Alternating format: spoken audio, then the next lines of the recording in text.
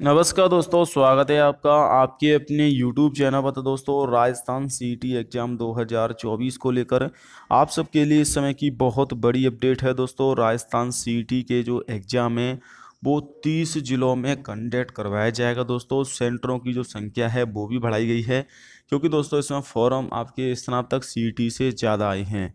साथ में दोस्तों, आपको बता दूँ, जो भी विद्यार्थी सी टी ट्वेल्थ सी के एग्ज़ाम देने वाले हैं उस चीज़ का ध्यान रखें कि दोस्तों, इसमें नॉर्मलाइजेशन होगा, यानी कि इसमें आपके दोस्तों नंबर कम ज़्यादा होंगे तो आपको फिक्स नंबर लाने वाले हैं, आपको अधिक नंबर की कोशिश करना है दोस्तों, चालीस परसेंट की बजाय पचास परसेंट या साठ परसेंट। क्योंकि दोस्तों, मान लीजिए आप फिक्स नंबर लाते हो, चालीस परसेंट उसी पारी में नॉर्मलाइजेशन से नंबर कम हो जाते हैं तो आपके नंबर लाने के बावजूद भी दोस्तों आप सीटी नहीं क्वालिफाइड कर पाओगे।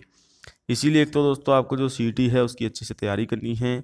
साथ में दोस्तों, ट्वेल्थ सी के जो एडमिट कार्ड हैं दोस्तों वो कब जारी होंगे उसको लेकर अगर मैं बात करूँ तो दोस्तों ट्वेल्थ सी के एडमिट कार्ड आपके परीक्षा से सात दिन पहले पंद्रह अक्टूबर को जारी की जाएँगे, यानी कि अगले सात दिन के बाद आपके एडमिट कार्ड आ जाएँगे। सरकार की तरफ़ से दोस्तों और बोर्ड की तरफ़ से यहाँ पर जो बारह सेवाओं के लिए 22 से 24 अक्टूबर तक छः पारियों में सीटी होगा, यानी कि बारह भर्तियाँ हैं जिन्हें आप दे सकते हो अगर सीटी आपका पास होता है। गृह ज़िले में मिलेंगे परीक्षा केंद्र। अधिकतर विद्यार्थियों को दोस्तों गृह ज़िले में ही सेंटर दिए जाएँगे।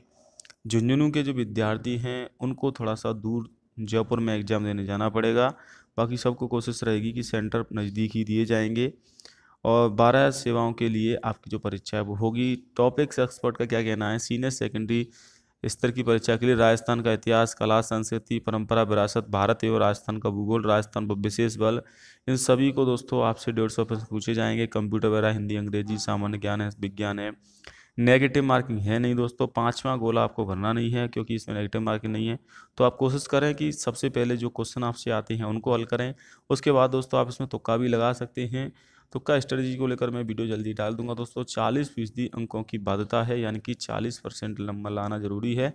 एस सी को पाँच परसेंट की छूट दी जाएगी और अब नहीं काटी जाएगी शर्ट की आस्तीन। जी हाँ दोस्तों, शर्ट की आस्तीन नहीं काटी जाएगी। आप फुल शर्ट पहन के आ सकते हैं, फुल आस्तीन की कोई भी प्रतिबंध नहीं है। हालाँकि जीन्स का पैंट आप नहीं पहन सकते तो जीन्स पर अभी शायद रोक है। अपडेट आ रही है कि जीन्स का आप नहीं पहन सकते हो। तो ये तो आपको इस चीज़ का भी ध्यान रखना है दोस्तों। परीक्षा केंद्र पर कोशिश करें दो घंटे पहले पहुँचने की दोस्तों। सेंटर आपको नज़दीक दिए जाएँगे, तीस जिलों में सेंटर बनाए जाएँगे। पहली पारी का पेपर होगा नौ बजे से बारह बजे के बीच में, दूसरी पारी का तीन से छः बजे के बीच में पेपर होगा।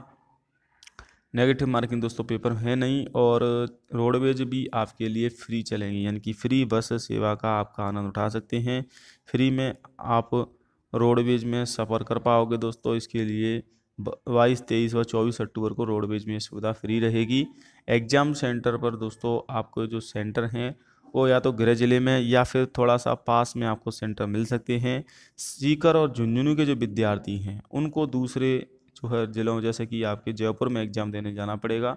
बाकी सबकी परीक्षा आपकी दोस्तों यहाँ पर गृह ज़िले में ही कोशिश कर रहा है बोर्ड की गृह ज़िले में ही सेंटर दिए जाएँ, या फिर दोस्तों नज़दीकी पड़ोसी ज़िले में ज़्यादा दूर से एग्ज़ाम देने नहीं जाना पड़ेगा। सेंटरों की संख्या भी दोस्तों बढ़ाई गई है, क्योंकि इसमें फॉर्म ज़्यादा हैं। साथ में दोस्तों जिलों की संख्या भी। पहले जो एग्ज़ाम हुआ था, वो पच्चीस से छब्बीस जिलों में हुआ था। स्नातक का इसका तीस जिलों में परीक्षा होगी, एग्ज़ाम सेंटर बनाए जाएँगे। नॉर्मलाइजेशन क्या होता है दोस्तों, आपको पता ही होगा, यानी कि अंक कम ज़्यादा होते हैं। मान लीजिए दोस्तों, दो शिफ्ट में आपका पेपर हुआ, मैं कंपेरिजन करता हूँ, एक शिफ्ट में तीन सौ में से एवरेज अंक जो निकल के आ रहा है, औसत अंक वो दो सौ आ रहा है। एक शिफ्ट में 180 आ रहा है तो जो 180 वाली शिफ्ट है उसको कठिन माना जाएगा क्योंकि इसमें एवरेज कम आ रहा है।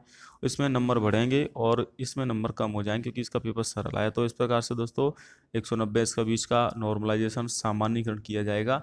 तो दोस्तों, नंबर कम भी हो जाते हैं नॉर्मलाइजेशन से। तो आप फिक्स नंबर की जगह एक्स्ट्रा नंबर दस बीस, एक्स्ट्रा नंबर अगर आप लाते हो तो आपके लिए ही बेनिफिट है। बाकी इस साल दोस्तों, ट्वेल्थ सी के अंतर्गत नौ हज़ार पदों पर पुलिस की भर्ती और एलडीसी की भर्ती आने की संभावना है। जय हिंद बंदे मातरम।